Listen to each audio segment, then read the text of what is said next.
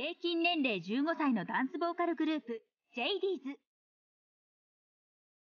結成7年目の挑戦。エンターテイメントの本場ニューヨークでのストリートパフォーマンス。最初は見る人の足を止めることができず苦戦します。来たからにはもっとちゃんと結果を残さないといけないし自分たちも結構戸惑いながらやってる部分がガンガン前に行くべきだったなっていうところもあるしやっぱ私たちの答えアンサー見つけにニューヨークに来たんで。進むべき未来。自分たちの答えを探しに来た武者修行。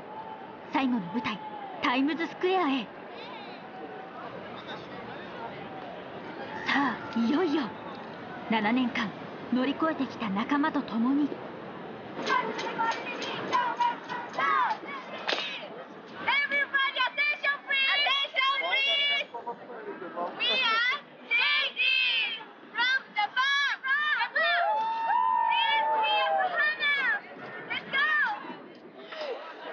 緊張の瞬間果たして。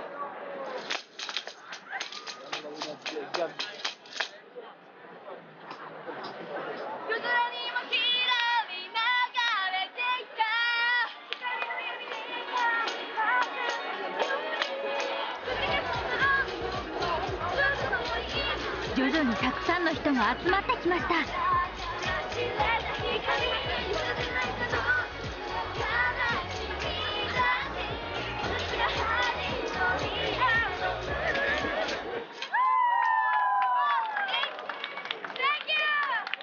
周りから大歓声。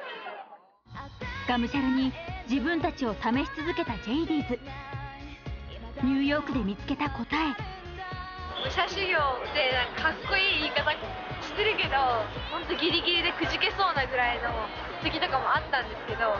それ含めて今思い返すと全部宝だったなって思います。なんだろう当たり前だと思っちゃいけないんだなと思ってもういつもいつでもお客さんが0人だと思ってそこから人を集めるぐらいの気持ちでライブしないとすごい大切なことだなって思います。一つのミュージックビデオとして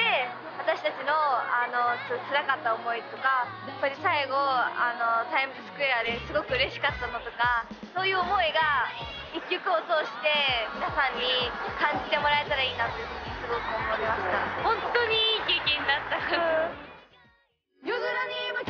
間違いも正解もない。歩んでいく今日だけが未来という答えをくれる。完全ノンフィクションのドキュメンタリー映像です。